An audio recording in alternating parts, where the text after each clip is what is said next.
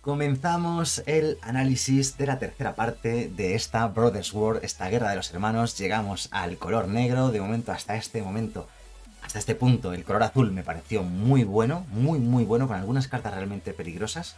El color blanco me pareció bueno también, o sea, tampoco vamos aquí a llevar las manos a la cabeza, me pareció un color decente el color blanco, con algunas cartas interesantes, muy, muy versátiles sobre todo, y además con el color blanco haciendo cosas que no suele hacer, como sinergias de cementerio, y bueno, cosas de ese estilo. Me ha gustado mucho la temática de prototipo, de poder jugar criaturas como artefacto barato o caro, y bueno, muy bien, ¿vale? Llegamos al color negro, vamos a ver cómo está el color negro. Yo me huelo. Ya sabéis que no he leído esta colección, o sea, no he leído nada. Estoy leyendo por primera vez todas las cartas. Pero me huelo que como el color negro estaba tan tan fuerte en estándar desde hace unos meses, que han tenido que prohibir el gancho carne, que el Seoldred está muy fuerte, la Liliana está muy fuerte, muchas cartas negras están muy fuertes, me huelo, quiero pensar que el color negro de esta colección va a estar más flojito, que lo hayan bajado un poquito de nivel de poder porque es que el negro está dominando demasiado estándar.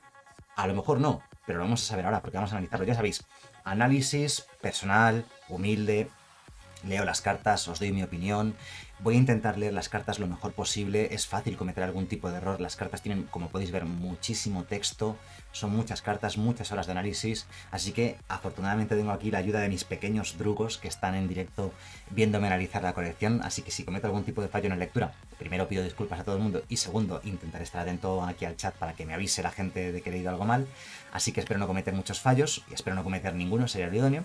Y bueno, ya sabéis que voy a enfocar mi análisis sobre todo pensando en Magic Arena, sobre todo en estándar, ¿no? Pero bueno, si hay algo que matizar o que comentar sobre si la carta pueda ser bueno en formatos más antiguos que no existen en Magic Arena o incluso para limitado o lo que sea, pues bueno, también lo intentaremos comentar. Acel, muchas gracias por ese follow, bienvenido. Venga, vamos a comenzar con el color negro y comenzamos. Gracias. ni más ni menos que con Ashnot. Ashnot ha resultado ser también una chica.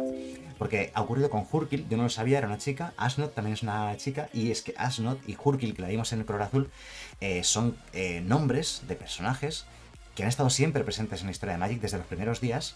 Y ahora ya les podemos poner cara, les podemos poner ya una personalidad, ¿no? Erpikifli, gracias por el follow. Vamos a ver, pues Ashnot es una criatura legendaria artífice humano, rara, por un mana negro. Es un 1-1. Y bueno, voy a parar el análisis aquí un segundito para dar las gracias a Tonzu por esa pedazo de suscripción a través de Twitch Prime, que lleva ya 7 meses suscrito al canal. Muchas gracias, muy buenas tardes y bienvenido. Y como decía, por uno es un 1-1 toque mortal, así que de momento no destaca, pero que cuando ataque puedes sacrificar otra criatura. Qué pena que no se pueda sacrificar a sí misma. Ahí pierde parte de su poder. Si lo haces, creas una ficha de piedra de poder. Las piedras de poder son artefactos que dan mana incoloro, pero solamente para poder jugar otros artefactos. Así que las piedras de poder no son la gran cosa. Y puedes pagar 5 y exiliar una criatura de tu cementerio para crear una ficha de criatura de artefacto zombie incolora 3-3 girada. Vale, no es mala esta carta.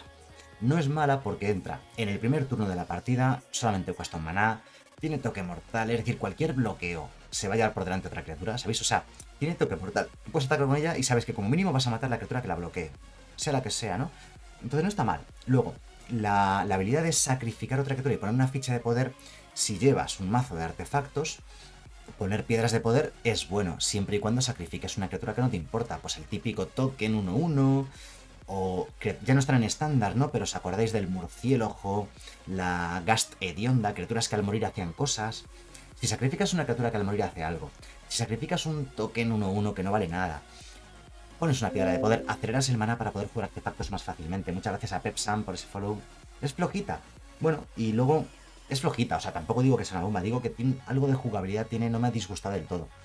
Y luego pagando 5, que sí que es mucho mana, yo creo, puedes exiliar cualquier criatura de, tu cementerio y poner un token 3-3 girado. Esa habilidad, si en lugar de costar 5, costase 3, ya hablaríamos de una carta buena. Pero es que es cierto, es cierto, el coste 5 es bastante alto, es una pena, creo que es lo que mata la carta. Es lo que hace que realmente al final no sea, no sea, no sea nada buena. Vamos a la siguiente carta. Intervención de Ashnot. Por un mana negro es un instantáneo hasta el final del turno. La criatura objetivo obtiene más 2 más 0 y cuando muera o vaya al exilio la regresas a la mano. Vale, típico truco de combate para limitado que es decente. Vale, es decente porque haces que una criatura pequeña pegue mucho, a lo mejor matas a otra criatura y ni siquiera pierdes la carta porque vuelve a tu mano. Carta para limitado pero no para construido. Ya sabéis que las cartas las cartas de Magic no tienen por qué ser todas buenas. Hay cartas diseñadas para unas cosas, otras diseñadas para otras. Magic es un juego muy amplio para muchos tipos de jugadores y para muchos tipos de formatos y de modos de juego. Así que algunas cartas no son buenas, ¿vale? Esta carta no la vais a ver jugar nunca en un mazo de estándar, o de explorador, o de histórico, o de modern, o de legacy, o de vintage, o lo que sea. Pero sí la vais a ver jugar en limitado, por ejemplo, ¿no? Así que hay que entenderlo de esa manera, ¿no? Por eso os digo, mi análisis está enfocado a básicamente a estándar, Magic Arena, fundamentalmente. Pero si tengo que comentar algo de algún otro formato, pues lo comento, como en este caso que digo que es, bueno, un truquillo de estos típicos de limitado que a veces ven en juego. Carnicero bélico. Por 3 es un 1-4 soldado y humano que pagando 5 y girándolo hace que cada oponente pierda dos vidas y te cuesta uno menos activar estabilidad por cada carta de criatura en tu cementerio.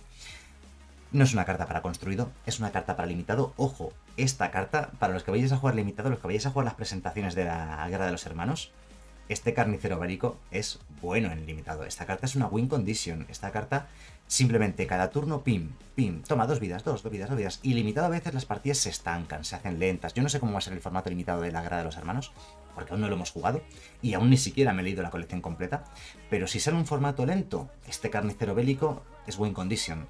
Ya sé que pagar 5 es una burrada, pero no vas a tener 0 criaturas en el cementerio. Vas a tener 2, 3, 4 criaturas, 5 criaturas en tu cementerio, de modo que esto va a costar 2, 3, 1, 0 incluso de activar. Eh, y es un 1-4, es un buen bloqueador, ¿vale? No está mal esta carta. Este carnicero bélico es una carta de estas que al final acaba ganando partidas, ya lo veréis pero no es para construido porque es lentísimo, flojísimo. Langosta carroñera. Por 3 es un 2-1 vuela, horror insecto, que cuando entre en juego exilias la carta objetivo del cementerio de un oponente. Si era una carta de criatura, ese jugador además pierde una vida. Si tuviese destello, sería una carta jugable en, construido. ¿Por qué? Pues a ver, el rival tiene un mazo de sinergias de cementerio, si puedes cargarte alguna de sus cartas de cementerio claves para su combo, su estrategia o su sinergia o lo que sea, genial. Pero claro, al no poder hacerlo a velocidad instantánea y solamente ser un 2-1 vuela por 3 no es una carta para construir. Es demasiado lenta, floja, flojita, no vale para nada. Es una carta diseñada para limitado. En limitado sí es bastante buena, por 3, un 2-1 vuela es casi decente para limitado. Y tiene una habilidad extra bastante buena. Exiliar cartas específicas de cementerios. Y además hacer perder una vida si era una criatura. Está bien. Para limitado es una cosita interesante. Remy Carol, gracias por el follow. Rex Gamer, gracias por el follow también. Corromper por 6 este es el corromper de toda la vida, ¿no? Corromper hace una cantidad de daño a cualquier objetivo igual a la cantidad de pantanos que controlas. Ganas una cantidad de vidas igual al daño hecho de esta manera. Hace un drenar vida de X. Drenar vida de X donde X es el número de pantanos que controlas. Este corromper en el bloque de... ¿Era del bloque de invasión? ¿Puede ser? ¿Algún, algún viejo como yo que en el año 2000, 2001 estuviese jugando en el bloque de invasión? ¿El corromper es del bloque de invasión? Bueno, en el bloque en el que estaba, en aquel estándar, en aquel bloque, en aquellos años, año 2000, 2001, puede ser, el bloque de invasión, ¿no? Esta carta era una de las cartas que ganaba los formatos. Había una mono black muy buena que no recuerdo si. Sí, yo creo que llamaba Cabal Coffers, ¿no? Eh, yo lo viví en séptima edición, ¿no? Ah, séptima y octava. Bueno, esos años, porque séptima es de 2001, creo, ¿no? Y octava es de 2003, si no recuerdo. Eso, Odisea Invasión, por ahí. Estamos hablando de hace muchos años. La gente vieja, o sea, muchos de los que estén viendo este vídeo no habéis nacido, para empezar. ah, ¿tú jugabas en Arte 9, Merrick? Yo jugaba en Arte 9 en esos años. En el Arte 9 de, de Doctor Esquerdo. A lo mejor nos conocemos de vista o algo. A lo mejor eres mayor que yo o más pequeño y quizás por la edad no teníamos mucho contacto. Que eres Guti. Pero a ver, me lo dicho antes, Guti, joder. Si además no somos amigos en Facebook también. vale, vale, perfecto. Joder, Guti, madre mía, qué, alegría verte por aquí. Eso, es, es, otra, es otra historia, claro. Si hablamos, es de, la vieja guardia de las Magic de Madrid de toda la vida. Bueno, sigo que me enrollo y al final va a ser el análisis más largo de la historia. Bueno, pues este corromper, como digo, es una carta que en su momento había monoblacks que la aprovechaban mucho y es una carta que era buena. Hoy en día yo creo que ya no es lo que era antes. O sea, es muy cara de coste, exige tener muchos pantanos o tipo de tierra básica, pantano en juego, cosa que ocurre poco. Y bueno, ya no es lo que era. Hoy en día es una carta que seguramente ya no sería buena en estándar. Y en limitado seguramente tampoco. Es que es una pena, es una carta de estas del recuerdo por la nostalgia. Pero que ya hoy en día no, va a hacer. No creo, vamos, me sorprendería muchísimo que esto llegase a ver algo de juego de, ningún tipo, ¿no? Si hubiese simulacro solemne, o alguna forma de poner muchos pantanos en juego o lo que sea, pues todavía no lo podría pensar, pero así ah, es un buen recuerdo, como digo, del antiguo, pero no es una carta jugable de hoy. Esta intención diabólica, yo es una carta que no conocía, porque a ver, aunque yo llevo jugando a Magic desde hace 25 años en total, no he jugado a Magic de forma, digamos, regular todos los años de esos 25. Entonces leí esta intención diabólica, ya la, vi el spoiler, ¿vale? La vi por ahí en Twitter. Y leí que era una reedición, que esta carta ya estaba editada en alguna colección. Alguien en el chat por fin que me diga de qué colección es una reedición esto. Yo no sabía que la intención diabólica ya existía. Entonces yo cuando leí este spoiler dije, anda, qué chula, es un, es un Diabolic, es un Demonic Tutor. Muy buena esta carta, ¿eh? Esta carta está muy rota. Dije, es un Demonic Tutor. Y luego ya leí algo de que era una reedición, ¿vale? Yo no, la conocía. Por dos, es un conjuro. Como coste adicional para lanzar este hechizo, sacrificas una criatura y puedes buscar en tu mazo cualquier carta de transmigración. Vale, yo en transmigración, por ejemplo, no, no, jugaba, no jugaba a Magic, porque yo tuve ahí un parón desde Saga de Urza hasta octava edición, más o menos. Y entonces, eh, entonces no, no, pues no la conocía. Aquí tenemos la original, el tutor diabólico, que ya he aprovechado y lo he buscado. Tutor diabólico es la original, y esta es una de las mejores cartas de la historia de Magic. Por dos, buscas la carta que tú desees. Bueno, por maná genérico y negro. No sé si va a poder enfocar, no va a enfocar porque, bueno, además tiene la funda y brilla bastante. Así que la webcam no puede. Bueno, y esto es tan bueno como un Demonic Tutor. Sí, hay que sacrificar una criatura. La idea es que lo juegues esto en un mazo en el cual tengas alguna criatura que no te importe sacrificar. Algún token o alguna criatura que incluso quieras que se muere. Ah, sale también una Monket. A Monket es otra colección que ha salido en Magic Arena, pero justo yo empecé en Magic Arena cuando salió Gremios de Ravnica. Entonces a Monket viví un poco el estándar. Ah, no lo sabía, joder, tiene dos reediciones. Pues mira, no la conocía, ¿eh? Me pilló por sorpresa ver esta carta en, los spoilers y no sabía que existía. Es una carta muy buena. Eh, juego verá seguro. Verá juego seguro. Bueno, una carta muy chula, muy buena y seguro que verá juego. Ya se encontrará el mazo que la aproveche y ya está, así que simplemente es eso. Discípulos de Higgs. Higgs, voy a decir Higgs en español. Por 6 es un 4-4 que cuando entran en juego busca en tu biblioteca hasta tres cartas artefacto, las pones en tu cementerio y luego barajas no creo que esta carta sea buena para construido. La habilidad es muy buena, ¿vale? O sea, tutorearte tres artefactos y tirarlos al cementerio, ya los tienes ahí para poder reutilizarlos de alguna manera. De hecho, hemos visto un montón de artefactos que tienen la habilidad de desenterrar, que te permite jugarlos desde el cementerio. Entonces, eh, el problema de esta carta, que cuesta 6 y es un 4-4. Tiene un coste carísimo y unas estadísticas bajas para ese coste. La habilidad, como digo, es muy poderosa, así que no creo que sea una carta que vaya a ver juego en estándar construido en general. Eh, en limitado es buena por 6 un 4-4, que te puede aportar cartas desde el cementerio, cartas que en el cementerio puedas utilizar de alguna manera. Para limitado es una buena carta, sobre todo si en el mazo tienes sinergias de cementerio, claro, pero si no, no. ¿Ey, ¿Han sacado el desfigurar para esta colección? Desfigurar por un mana negro instantáneo, menos 2, menos 2 a la criatura objetivo hasta el final del turno. Es un excelente removal, que si el metajuego se llena de criaturas pequeñas, verá juego el desfigurar. Eh, lo que pasa es que actualmente en estándar hay tantos removals y tan buenos. Pensad una cosa, el destrizar es mejor que esto. El destrizar está ahí ahí con esto, el destrizar de juego, pero yo no sé si el destrizar es mejor que el desfigurar, según se mire, ¿no? Según, según las cartas que se estén jugando. Esto mata cosas bastante valiosas actualmente, ¿no? Puede ver juego, vamos, el desfigurar no sería la primera vez que ve juego y ya está, o sea, es una carta perfecta.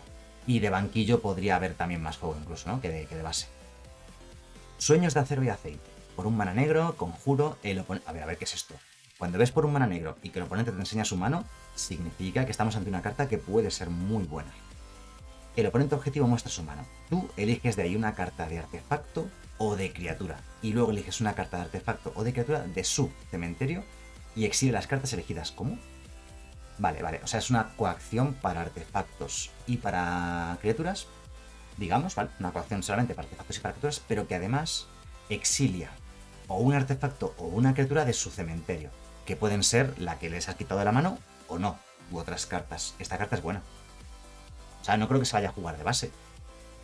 O incluso se podría ir a jugar de base. Es decente. Es una carta para banquillos, evidentemente. Por ejemplo, contra una el mazo más jugado de estándar o de los más jugados en Magic Arena de estándar, Mono Black Midrange. Le juegan el el, ¿cómo se llama? El bicho que vuelve del cementerio, el saboteador, no cómo se llama ese bicho. Bueno, Eh, bueno, hay muchos artefactos, criaturas buenas, que juegan incluso desde el, que se vuelven desde el cementerio. ¿Vale? O sea, esta carta es buena. Es buena y en banquillos va a haber juegos seguro. El Underdog, sí, y en, español, el subestimado tenaz, eso es. El subestimado tenaz. Luego está el artefacto. Joder, madre mía, parece que tengo una embolia o algo en el cerebro. No me sirven los nombres de ninguna de las cartas. todo el día jugando a Magic, todo el día hablando de Magic, todo el día tal, y no me sé los nombres de ninguna de las cartas.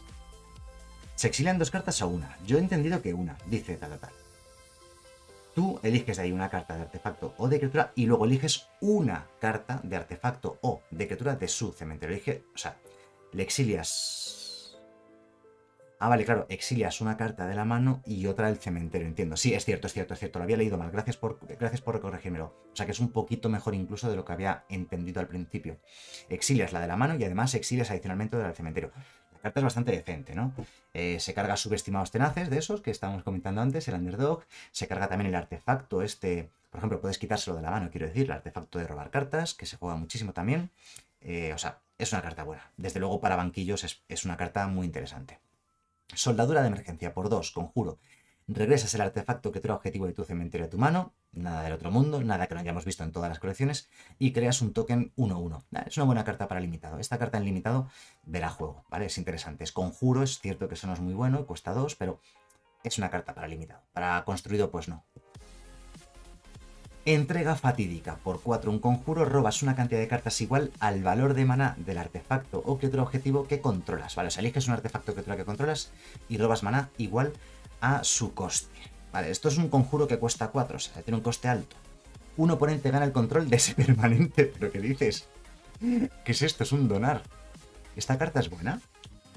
O sea, ¿qué clase de permanente podríamos elegir para que esta carta fuese buena? No me parece buena a priori, o sea, salvo que tenga algún tipo de sinergia extraña que yo ahora mismo no, no imagino, no se me ocurre ninguna cosa que pudiese funcionar no, no, le veo mucho la utilidad de esta carta, ¿no? O sea, es graciosa, sí, es graciosa. Y, seguramente haya, cartas que quieras donarle al rival. Había una carta muy antigua de Magic que dio lugar a uno de los mazos de combo más poderosos de la historia que se llamaba Donar. Y la carta Donar es simplemente que un permanente tuyo se lo das al rival, ¿vale? Pues ya os digo que esa carta de Donar dio lugar a uno de los combos más brutos de la historia que ganaba de primer turno muy fácilmente. De hecho, tengo un vídeo sobre ese mazo en YouTube. Bueno, pues esta carta es similar porque le donas un permanente al rival y además robas cartas. Bueno, Darth Mida, muchísimas gracias por esa suscripción a través de Twitch Prime. Dos meses ya. muy buenas tardes, bienvenido, muchísimas gracias. Silver Cage en el chat dice que es buenísima. Silver Cage es una persona que ve más allá de nuestra realidad. Él ve a otro, a otro nivel, ¿vale? Entonces, entiendo a qué se refiere Silver Cage con lo de es buenísima. Lo voy a poner entre comillas, porque la carta en sí no es buenísima. Lo que quiere decir Silver Cage es que puede tener puede tener una utilidad buenísima, es cierto, es un donar. Y el donar ya digo que dio lugar a uno de los combos más fuertes de la historia de Magic. Pero la carta en general, la carta en general, ¿cómo le sacas partido? Pon un par de ejemplos, Silver Cage, mientras sigo leyendo, porque así a bote pronto a mí no se me ocurre nada. Higgs, magistrado de Yawgmoth. Por 3 es un 3-3. Ojo, que esta carta tiene. Mira qué dibujo, tiene que ser buena. Criatura legendaria, magistrado pirexiano mítica, ¿vale? Es una mítica, tiene que ser buena. Siempre que una criatura haga daño de combate a uno de tus oponentes, porque en Magic se puede jugar multijugador, solamente lo ponen de esa manera el texto, por ese motivo, en Magic Arena, daño a tu oponente. Tu controlador puede pagar una vida, y si lo hace, ese jugador roba una carta. Vale. Las primeras cuatro líneas del texto de esta carta me están diciendo que el rival puede robar cartas extras si le hago daño. O sea, puede pagar una vida, que no es precio para robar una carta extra, es barato. Vale, pero también puedes pagar 7 y descartar X cartas para exiliar las X primeras cartas del mazo del oponente objetivo y puedes jugar las tierras y hechizos de entre ellas de esta manera sin pagar sus costes de mana. Vale. Es a un oponente, sí. Siempre que una criatura haga daño de combate a uno de tus oponentes. Ah, bueno, quizás para Commander, ¿no? Rollo multiplayer. Si un otro jugador que no eres tú hace daño a otro jugador, no sé, sí, no sé, ¿no? ¿Cómo que el rival no puede robar? El controlador puede robar una vida. Ah, vale, soy yo, vale, sí. ¿Veis? La estaba leyendo mal esta carta. Es que no tenía sentido las cuatro. Menos mal que tengo aquí mi text, mi chat y mis pequeños drugos que me, me corrigen si me equivoco. Es que lo había leído mal, vale. Corrijo, eres tú el que puede robar. Vale, vale. Uh, es muy buena. Está rota. La ley mal, la ley mal. Su controlador no se refiere a. Se refiere al controlador de la criatura. Claro, en multiplayer es donde es mala, ¿vale? Porque pueden robar otros. Eres tú el que roba pagando una vida. Pues buenísima esta carta, está rotísima. Madre mía. Y yo diciendo. Diciendo seguro que. Seguro que han bajado el nivel de poder de las cartas negras, ¿no? No. Es que la mono negra agresiva con esto. O sea. Y además no tiene ni que hacer el daño a la propia carta. O sea, puede ser otra. Yo estoy. Tengo dos criaturas en mesa. Turno 3 juego a Higgs, ataco con las dos criaturas que tengo y encima robo cartas extras. Siempre que una criatura haga daño de combate a uno de tus oponentes, es decir, por cada criatura. O sea, si tienes dos criaturas que atacan y hacen daño al oponente, puedes pagar dos vidas y robar dos cartas. Está rotísima esta carta, ¿no? Es buena, es buena en mono black agro, es buena en cualquier mazo, es buena por sí misma. Ella misma por 3 es un 3-3 que cuando hace daño robas una carta. Sí, ya solo faltaba, sí, ya sí, solo daño de combate, efectivamente. Daño de combate a tus oponentes. No valen trucos, combos con artefactos, con equipos que hagan daño directo, que peguen tiros, o con hechiceros pródigos, ¿no? Que peguen tiros o lo que sea. Pero vamos, obviamente, solo daño de combate es lo habitual. Es, es normal que sea solo daño de combate, porque si no estaría mega rotérrima. O sea, esto sería ya el acabose, ¿no? Vale, entonces, la carta es muy buena por sí misma. Y luego la habilidad de pagar 7 la habilidad de pagar 7 está rotísima también. A ver, no es, yo creo que la importante es la primera, ¿no? Pero es que además, por si fuera poco, le añaden esa habilidad extra de descartarte X cartas para jugar gratis X cartas del top del rival. Sin pagar su coste, no entiendo, sin pagar su coste. La verdad es que la carta es muy, muy buena. Pues muy buena esta carta, seguramente de las mejores que hemos visto hasta ahora en, eh, toda la colección, ¿no? Muy buena carta, el Higgs Magistrado de tremenda, tremendamente buena. Podría estar mirando los precios que hay ya por ahí en internet de venta de estas cartas, pero vamos, estoy seguro que si miro algún precio por ahí, esta carta ya está disparada de precio. A ver si lo puedo, lo puedo comprobar así rápidamente sin haceros perder demasiado tiempo. Es una mítica, así que estará entre las cartas más caras, cartas sueltas. Voy a mirar un segundito. Ya por curiosidad, voy a ordenar por más caras.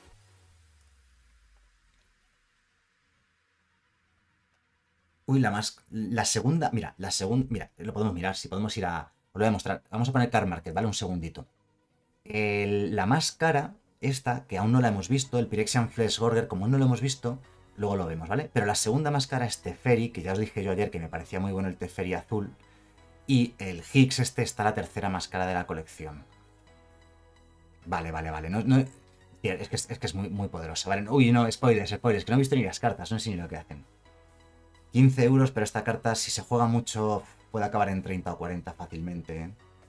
O sea, si vale 15 ahora mismo, o sea, si queréis meter dinero en Magic físico o lo que sea, 15 euros ahora mismo me parece que es barata. Yo si fuese una tienda, por ejemplo, si fuese una tienda de Magic, eh, me haría acopio de Higgs de estos. 10 o 20 o 30 compraría seguramente y, lo, duplicaría el, valor. Higgsud, gracias por el follow. Esa carta es muy buena. Caricia de Higgs, por 3, conjuro. El oponente objetivo muestra su mano, eliges de ahí una carta que no sea tierra y ese jugador descarta una tierra. Y además creas una ficha de piedra de poder. Esta caricia de Higgs creo que es buena en un mazo de artefactos, ¿vale?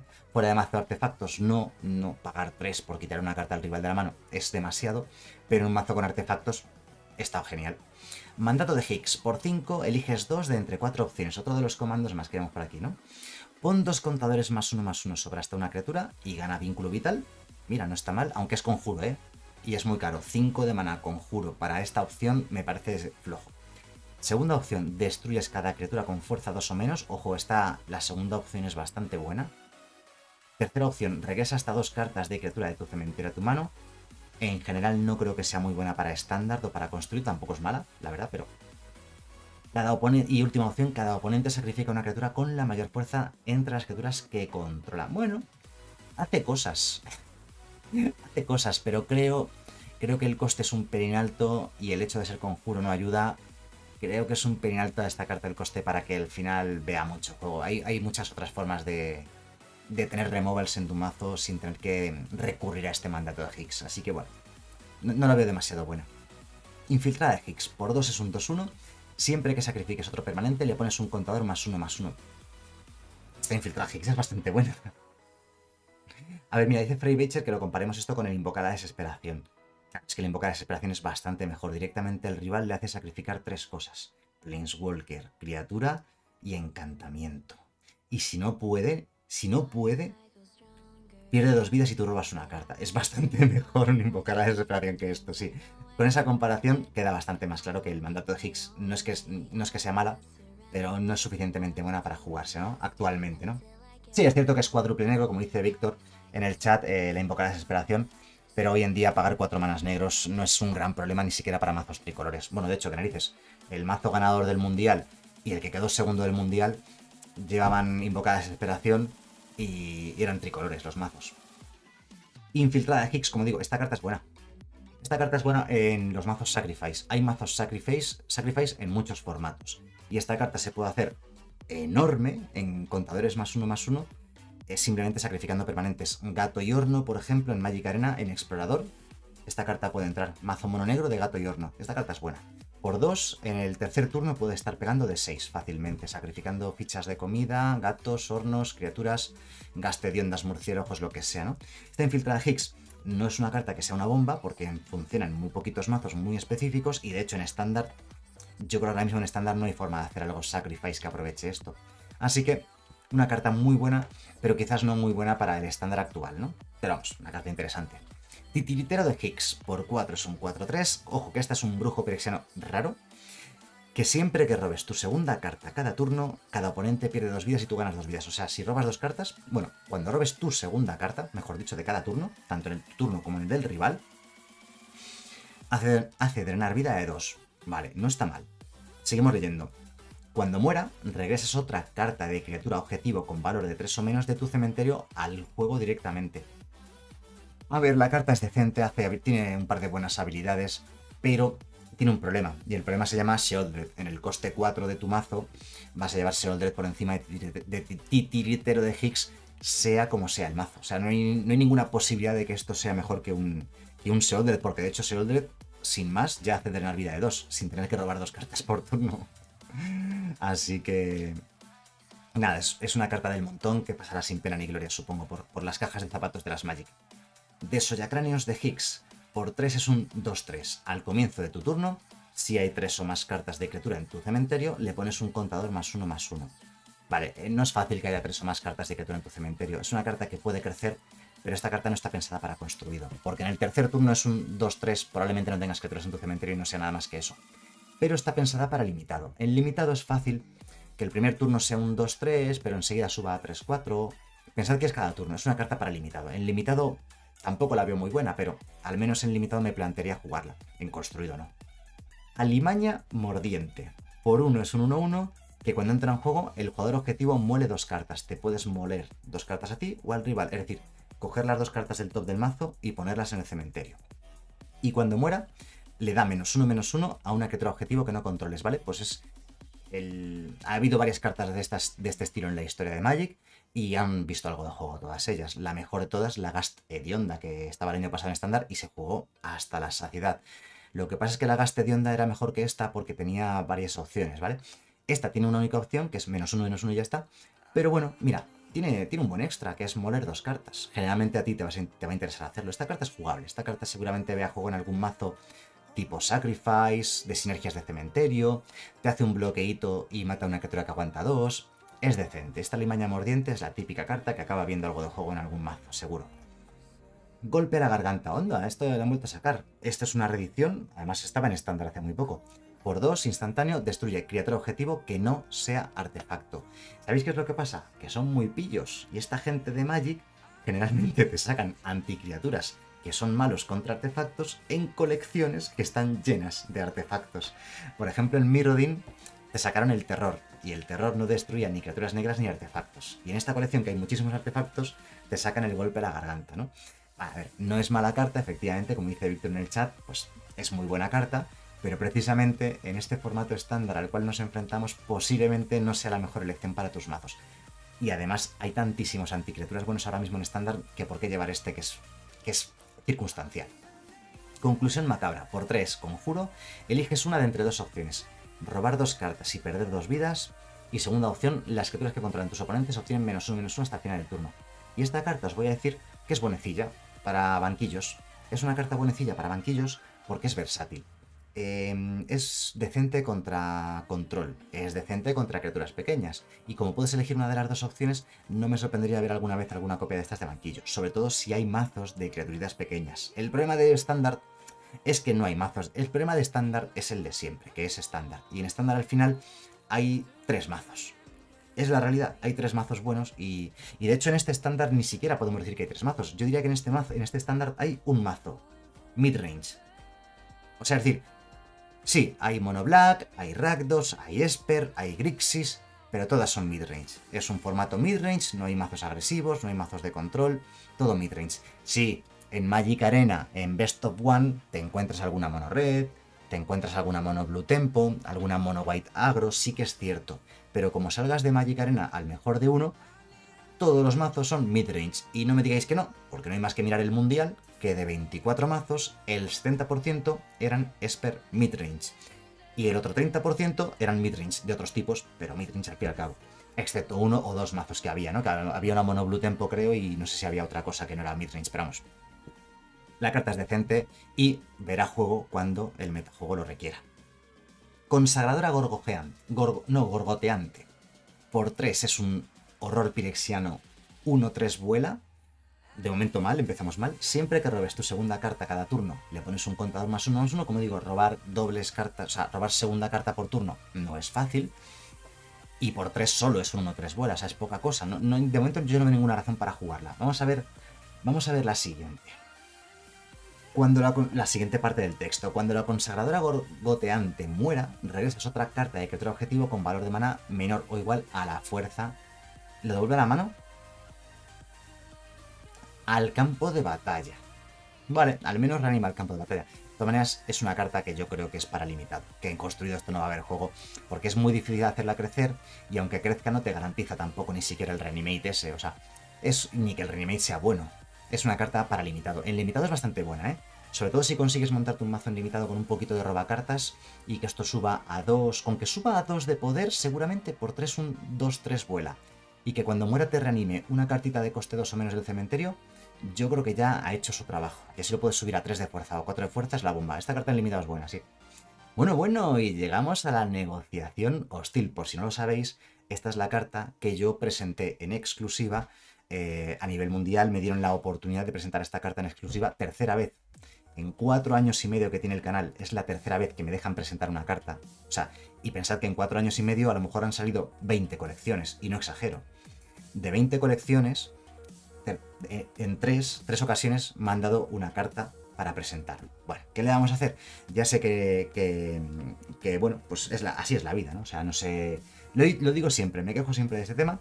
Ellos sabrán lo que hacen. Si al fin y al cabo, ya os digo, que yo presente una carta a ellos es un favor que yo les hago a ellos, no ellos a mí.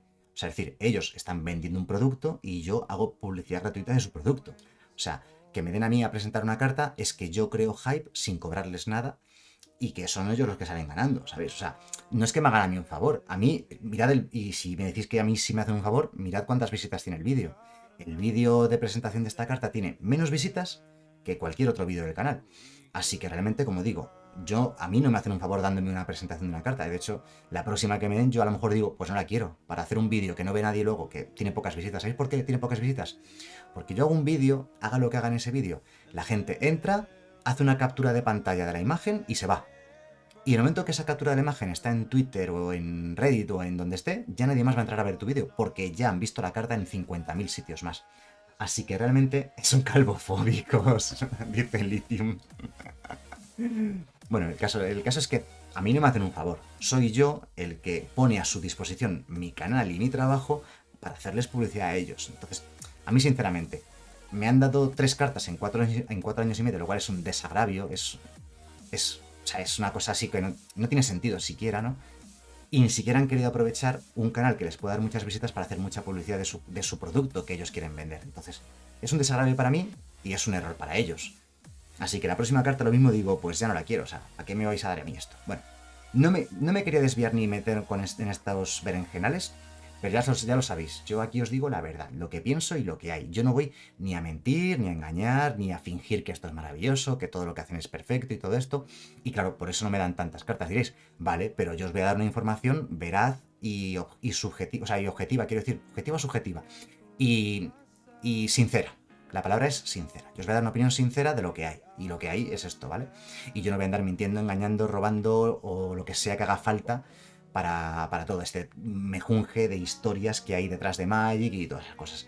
A mí me da todo igual. O sea, yo no voy a estar en esas historias que hay por ahí detrás de, de, de bambalinas. Yo vengo, hago mi trabajo, os doy todo lo que tengo, doy la mejor información posible y además soy lo más sincero y natural posible y veraz. Y ya está, y esto es lo que hay. Y fijaos lo que estoy haciendo. Diréis, estás tirando piedras contra tu propio tejado. Me da igual, porque cualquier otra cosa que hiciese sería mentir, y tampoco lo voy a hacer. Venga, va, vamos a la carta. Eso sí, la carta es muy buena. ¿Vale? es verdad, el otro día me puse así en plan aquí rabioso y me llovieron 50 subs o algo así en, en media hora. Venga, va, seguimos. Negociación hostil por 4, instantáneo negro, es raro, la carta es muy buena. Hay que decir las otras dos cartas que me dieron eh, en las otras dos ocasiones eran cartas bastante malas o bastante normalitas. No se jugaron siquiera, ¿no? Eran, no eran jugables. Pero esta sí, esta carta sí que es muy buena y es muy jugable y en muchos formatos. Y no solamente en Magic Arena, sino en formatos más antiguos. Yo creo que la carta es, excepcionalmente buena y creo que va a haber bastante juego. Por 4 instantáneo, exilias tres cartas de tu top del mazo y los dejas boca abajo, ocultos, que nadie los vea. Y luego exilias las tres primeras cartas del mazo no, primero, espérate, perdón. Las primeras se exilian boca arriba y las otras tres boca abajo, ¿vale? Entonces, tú puedes mirar las cartas de cada montón. Y. Espérate, que me estoy, estoy viendo fatal. y luego, si mira las cartas de cada montón y luego pon un montón de tu elección boca arriba. ¿Vale? Ah, no, pones todas boca abajo, ¿no? Es que lo estoy diciendo mal. Pones todas boca abajo y revelas unas. Es que lo estaba leyendo mal, perdón. Mi, mi propia carta la estoy diciendo mal. ¿Sabéis lo que pasa? Que como sé lo que hace, en lugar de leerla, la estoy un poco mezclando con lo que sabía que hace. El caso es que el rival va a ver tres cartas boca abajo y tres cartas boca... Vale, resumen. El rival ve tres cartas boca abajo y tres, cartas boca arriba. Y el rival elige uno de esos dos montones y te lo pone en la mano y el resto al cementerio. Entonces es una, es una carta muy molona porque es muy psicológica. El, el, rival que va a ver, ¿va a ver las buenas o va a ver las malas? ¿Qué habrá en lo que está oculto? Me está enseñando estas tres. Y hay que pensar que no solamente me pone unas en mano, es que es muy compleja. Esta, esta carta es muy, muy compleja, dificilísima de jugar, porque no solamente las que elige te las pone en la mano, es que las otras van a ir al cementerio. O sea, imaginad que le muestras tres cartas de cementerio muy buenas y otras tres ocultas. ¿Qué te va a dar? ¿Las ocultas? Es que a lo mejor las ocultas son incluso mejores. Pero ¿qué va a hacer? ¿Te ponen en el cementerio las tres que está viendo? Si son de cementerio, ojo, será la última carta que presentarás, dice Darkhold. Ya digo que tampoco me importa, porque sinceramente a mí me supone un perjuicio al canal. O sea, si yo vivo de esto y ese vídeo tiene la mitad de visitas de lo normal, pues ahí me viene hasta mal. O sea, la próxima vez yo ya les voy a decir que no me interesa, que, a mí no me interesa hacerles publicidad gratis y encima para tener la mitad de visitas en el vídeo. Porque las otras que presenté, que fueron de Baldur's Gate al principio del verano, igual, el vídeo con la mitad de visitas. Pregunta Will, ¿es mejor esta carta que Factor Fiction, realidad o ficción, una de los mejores robacartas de la historia? A día de hoy ya la Factor Fiction ya no es lo que era al principio, pero la Factor Fiction cuando salió, esos primeros años, como el robacartas definitivo, o sea, era bestial, era tremenda. Y esta recuerda muchísimo a esa Factor Fiction. Han llovido, ha llovido mucho desde entonces y han pasado muchos años. Y ya los robacartas de este estilo yo creo que ya no son tan buenos. Creo que la carta es mejor que la Factor Fiction, yo creo que es mejor que la realidad o ficción, pero eh, no creo que sea, el momento actual no hace no es tan propicio para esta carta, ¿no? Ver a juego, esta carta va a haber mucho juego en muchos formatos, así que tranquilos que la carta es muy buena. Javi Zapi, gracias por ese follow, bienvenido. Venga, seguimos, que me enrollo muchísimo. Acróbata de la zona mortífera. Por 3 es un 3-2, que cuando ataque puedes sacrificar otra criatura o artefacto, y si lo haces, la acróbata de la zona mortífera gana la habilidad de volar hasta el final del turno. Carta mediocrísima, es una carta diseñada para limitado. Por 3 un 3-2. Y puede llegar a ganar volar si hace falta en una situación de partida concreta. El limitado no es mala del todo, porque ya digo, es una común que por 3 es un 3-2, es de relleno para el mazo, está bien. Es decente, suficiente. Si no tienes cartas mejores la puedes meter. Y puede llegar a ganar volar en un momento puntual para ganar una partida, por ejemplo. Pero para construir es terrible. aunque es soldado. El mazo de soldados es una posibilidad para esta colección. Sombra de la miseria. Creo que esta carta la vi en un spoiler, me lo tragué por ahí por Twitter. Por 2 es un 2-2, que si una criatura que controla un oponente fuera a morir, en vez de eso la exilia, tiene una habilidad de estas que, pues como el Kumano, el grabado de Kumano, el de Kumano contra Kakazan, hace esto mismo, ¿no? Que las criaturas cuando van a morir del oponente se exilian. Vale, eso no importa. Lo importante es que pagando uno, gana más uno más uno hasta el final del turno. Vale, hace muchos años en Magic hubo una carta que se llamaba Nantuko Husk, ¿puede ser? No, Nantuko Husk no, Nantuko, la sombra Nantuko. La sombra Nantuko por 2 era un 2-1 que por un mana negro ganaba más uno más uno. Y esa carta, durante esos años que estuvo en estándar y en, aquel, en el antiguo extendido que se llamaba el formato, que ya no existe, fue una de las mejores cartas de esos años. Porque por 2 tenías un 2-1 que se podía hinchar hasta 4, 5, 6, lo que fuese, ¿no? Pero eso quedó muy atrás en el tiempo. Esas cartas ya no son tan buenas como eran antes. Daferoder, gracias por el follow.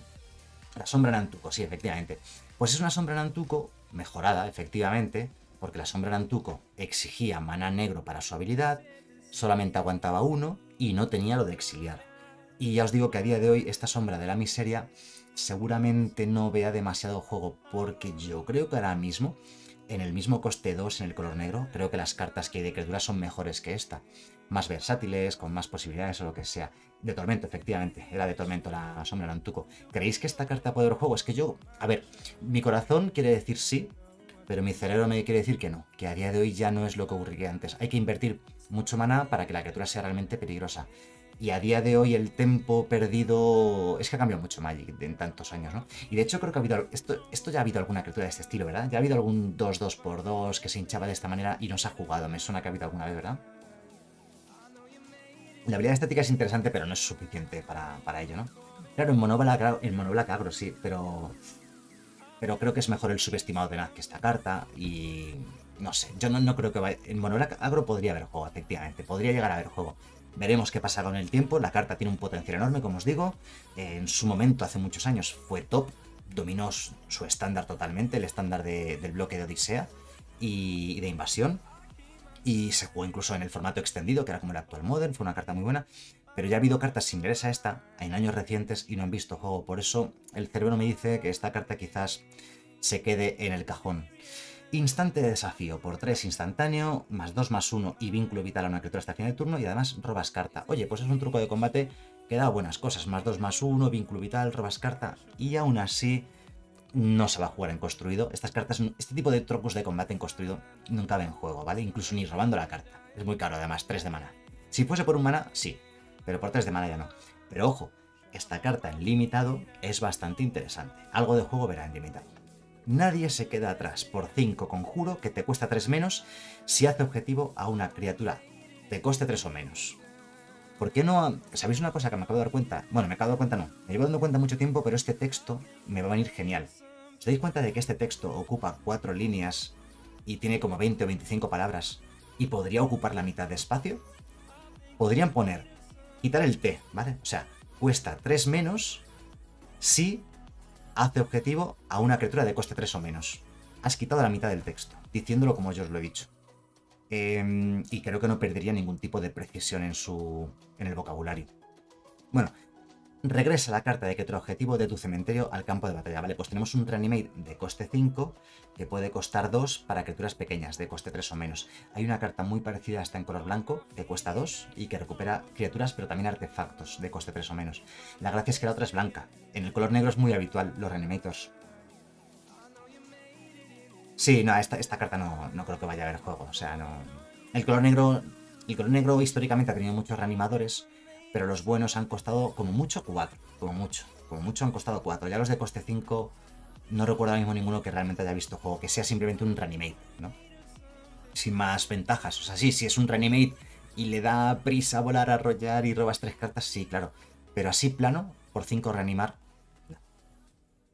Remordimiento abrumador por 5 instantáneo que te cuesta uno menos lanzarlo por cada criatura en tu cementerio y exilia criatura o Planeswalker. Este removal, mm, a ver, puedes llegar a jugarlo por un mana negro en el mazo adecuado. ¿Este remordimiento abrumador no existía? ¿Esta carta existía? ¿Puede ser? El caso es que esta carta, Remordimiento Abrumador, no creo que dé el salto a construido. Es cierto que puede jugarse muy barata por un solo mana negro incluso, Pero no es fácil, ¿vale? Tienes que tener muchas cartas en el cementerio y eso no va a ocurrir en los primeros turnos de la partida. Sí que es una carta más bien, creo, diseñada para limitado. Me suena que esta carta ya existía, que es una reedición. A lo mejor me estoy equivocando y hay otra parecida y tal, pero una carta para limitado. Construido, aunque pueda parecer interesante y, ojo, podría llegar a serlo, pero es difícil, eh, sobre todo en los primeros turnos de la partida, turno 1, 2, 3, nunca la vas a poder jugar por 1, 2 o 3 de mana en esos primeros turnos, va a ser muy complicado, ¿no? Dilema doloroso. Creo que hay removals más baratos que cuestan siempre uno o dos y que van a hacer un trabajo similar, ¿no? Por eso al final esto... Dilema doloroso. Por 5, encantamiento raro. Siempre que un oponente lance un hechizo, ese jugador pierde 5 vidas a menos que descarte una carta. Estas cartas son malas, ¿vale? Esta es la típica rara que la ve un niño o la ve un novato de Magic y dice, me voy a montar un mazo de dilema doloroso.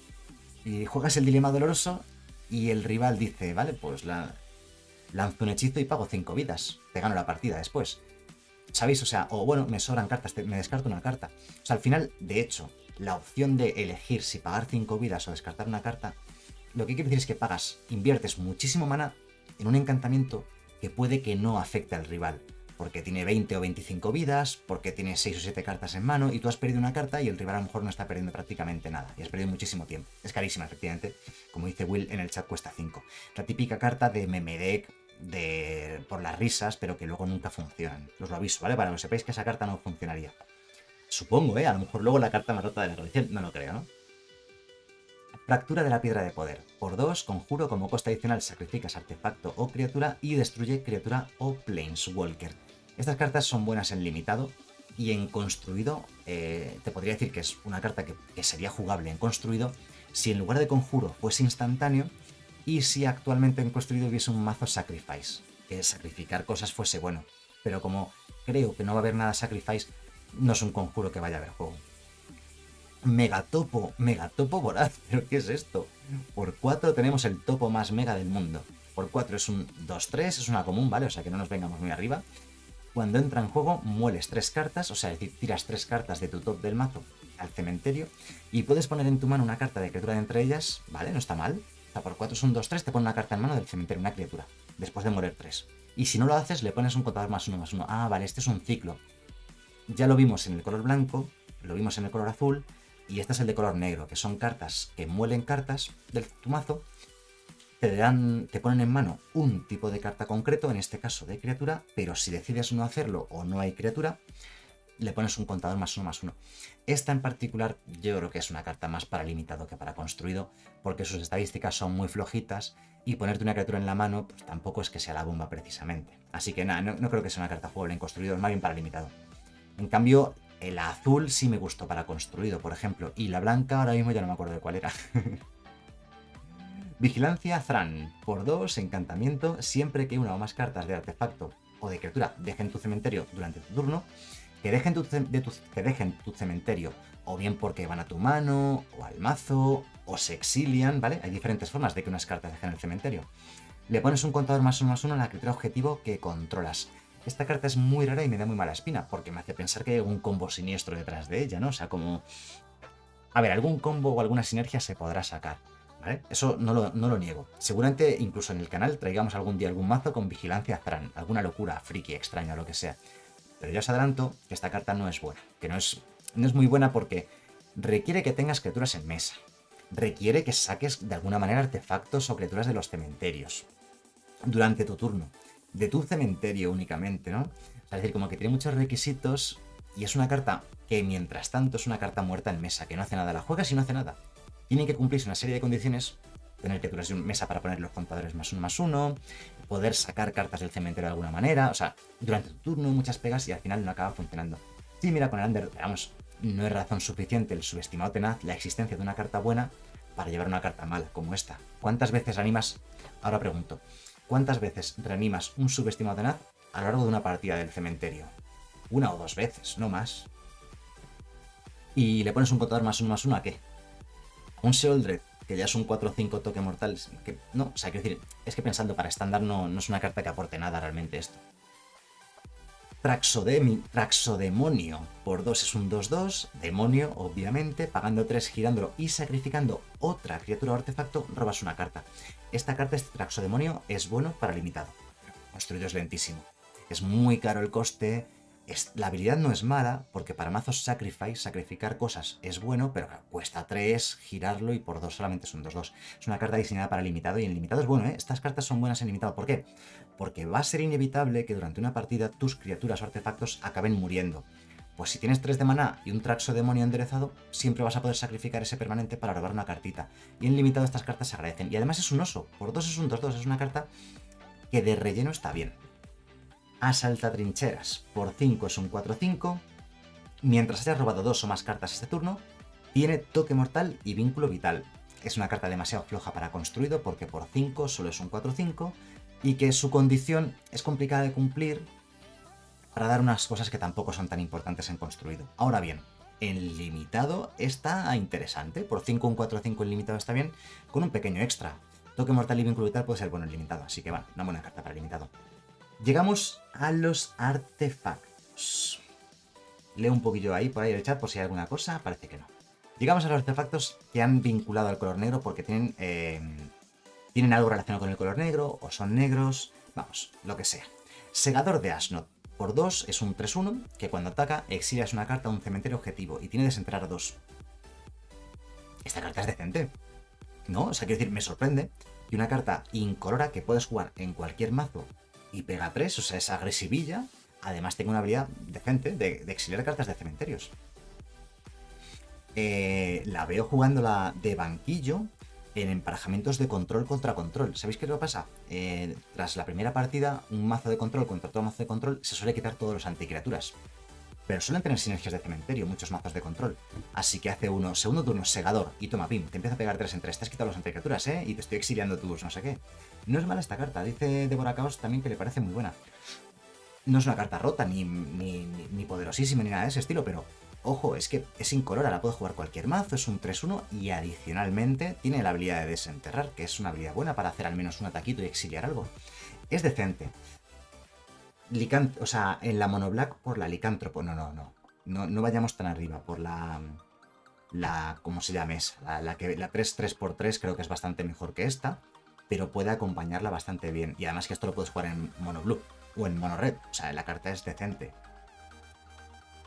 Pero está bien, buena carta, sí.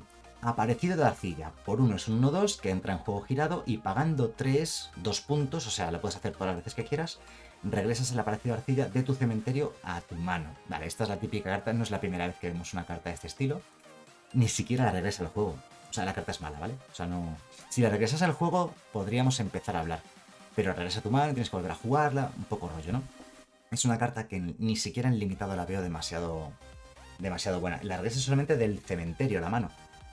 Qué pena, ¿os imagináis que la regresase desde cualquier parte? Desde el cementerio o desde el juego. Yo que sé, podría dar un poquito más de juego. Nada, es una carta bastante flojilla y yo creo que ni siquiera en limitado la veremos mucho. O quizás sí, quizás en limitado como bloqueadora. Eso, la intrusa del cementerio se llama, ¿no? Gracias, usuario mediocre. Buenas noches. Bueno, garra excavadora. por 2, la criatura equipada obtiene más 1 más 0 y amenaza. Por cierto, se juega por 2, se equipa por 2 más uno más cero y amenaza, y siempre que una criatura entre en juego, desde tu cementerio le puedes anexar la garra excavadora. Obviamente esta carta para construido pues no es, es una carta demasiado floja. La habilidad de amenaza en construido es poco relevante, más uno más cero en construido es poco relevante. Para limitado está bien, para limitado es jugable, pero en construido no, no es demasiado buena. Arado de guerra en vestidor. Vamos a ver, otra carta de estas de prototipo. Me gusta mucho prototipo. Esta carta la puedes jugar por 6 y entonces sería un 5-4 o la puedes jugar por 2 y sería un 1-1. Que al fin y al cabo esto es como si me decís que tiene estímulo. Imaginad que la... O sea, para que quede claro, nos toman por tontos a veces. Nos están diciendo que prototipo es una nueva habilidad en Magic. No es cierto. Bueno, sí, sí que es cierto, ¿vale? Sí que es cierto porque hay un pequeño matiz, que la carta es o negra o incolora, ¿vale? Pero, salvándolo del color negro o incoloro, esto es lo mismo que estímulo. Esta carta podría ser por 2 un 1-1 con estímulo 4 y con estímulo 4 eh, ganaría más ganaría más 4 más 4 más 3, ¿vale? La carta, de forma permanente o algo así. O sea, se podría redactar, quiero decir, de tal forma que la carta tuviese estímulo, es lo que quería decir. Bueno, la carta es mala, ¿vale? Esta carta no es para construido, es una carta para limitado. Por 2-1-1, toque mortal es decente porque en cualquier bloqueo puede matar cualquier criatura del rival. Y luego por si es un 5-4 está bien, es una carta para limitado, no para construido. Es un estímulo inverso, sí, algo así, estímulo inverso, sí. Enguyecarnes Pirexiano. Esta es la carta más cara actualmente, así mirando precios de tiendas o de, Magic Card Market que hemos mirado antes. En, en, Magic físico, en Magic oficial, digamos, o sea, en mercado secundario, es la carta más cara de la colección. Esta carta la he visto, ya vi el spoiler, y me gustó, me pareció bastante buena. No me parece que sea la mejor de la colección, pero me parece buena. Esta carta la puedes jugar como un 3-3x3 o como un 7-5x7, lo que tú elijas. Lo que siempre tiene es amenaza y vínculo vital. Y además tiene rebatir, o sea, el rival puede, no o sea, si el rival le hace objetivo, rebatir es, si el rival le hace objetivo con un hechizo o con una habilidad, el dicho hechizo o habilidad se contrarresta a menos que pague adicionalmente lo que pone aquí, una cantidad de vidas igual a la fuerza de engulle carne pirexiano. O sea, tiene rebatir pagar 3 vidas, resumiendo, o rebatir pagar 7 vidas en el mejor de los casos. Como digo, es una buena carta, por 3 un 3-3, amenaza, vínculo vital, con un rebatir, pero creo que lo que acabamos de comentar hace un momentito, la intrusa del cementerio, me parece que es mejor que esta carta. La intrusa del cementerio está muy rota, ojo, ¿eh? la intrusa del cementerio es que es una de las mejores criaturas de estándar actualmente. Y este engulle carne espirixano me parece buena carta, pero no sé si la gente se ha venido demasiado arriba con ella, ¿no? O sea, es una buena carta. Verá juego, ojo. ¿Cuánto juego creéis que va a haber esto? Es que tiene competencia muy fuerte ahora mismo en estándar, ¿eh? No lo sé. Por cierto, muchas gracias a Muten, Mutenro por ese follow, bienvenido. O sea, la carta me parece muy buena. Algo de juego por narices tendrá que acabar viendo esta carta porque no es nada mala. Pero tiene mucha competencia, ¿eh? No sé yo si es tan buena como la gente cree. Transmutado látigo cortante. Tenía que haberle puesto tilde la. Bueno, por 2 es un 3-1 que no puede bloquear. Y ojito, porque es una criatura artefacto que es zombie y que además es rara. O sea, tiene una mezcla de cosas un poco extrañas, ¿no? Por 2, un artefacto 3-1, no puede bloquear, zombie. Hay muchos zombies que no pueden bloquear, eso sí que es cierto. Y además es criatura artefacto. Puedes pagar 6 y regresas el transmutado látigo carne eh, de tu cementerio al campo de batalla con un contador más 1 más 1 sobre él. Te cuesta 4 menos activar esta habilidad si un oponente controla 4 o más tierras no básicas, ¿vale? O sea, por 2 de mana lo puedes devolver del cementerio al juego con un contador más 1 más 1. Esta carta es buenísima. ¿Verdad? Esta carta es buena. Ah, mira, una cosa que está diciendo Bitcoin en el chat que yo no he tenido en cuenta ni he comentado en ningún momento, y es esto, que estas tipo de cartas, las cartas de prototipo, la carta es el engulle carne pirexiano y cuesta 7 de forma oficial, ¿vale? O sea, aunque lo juegues con prototipo, aunque lo juegues pagando 3, la carta realmente tiene coste 7, ¿vale? Entonces, si lo blinqueas, es decir, si tú lo juegas por 3, lo sacas de juego y lo vuelves a meter, vuelve al juego con el coste 7 y como un 7-5, ¿vale? Eso es cierto que no lo he comentado, no lo he tenido en cuenta, no se me había ocurrido ese detalle. Es un detalle relevante a tener en cuenta para mejorar la carta o lo que sea. Menos mal, te voy a decir una cosa, menos mal que el color negro precisamente es el color que no blinquea nada, no tiene ninguna habilidad de blinquear, de sacar y meter. El azul y el blanco sí, pero el negro no. Pero sí, sí, cierto, cierto. Sí, Eimoman lo comentó hace mucho rato y no lo pillé. Leí que habías puesto no sé qué de blinquear, dije yo, sí, sí, claro, si blinqueas todo bueno. Y luego, ahora que lo, ahora que lo ha dicho mm, Bitcoin, es que ya lo ha dicho diciendo que vuelve de esa manera. Claro, yo en ese momento no me di cuenta, pero Imoman sí también lo dijo hace mucho rato y yo pasé del tema. Estábamos hablando del transmutado. Este es bastante bueno, porque es muy fácil que un rival tenga cuatro tierras no básicas en mesa. Prácticamente cualquier mazo, incluso los monocolores, es muy fácil que tengan cuatro tierras no básicas. Y regresarlo del cementerio al juego así, por todo el morro. Dos de mana, con un contador más uno más uno, o sea, como un 4-2, a velocidad instantáneo. O sea, ya un mazo con sinergias de cementerio sería brutal.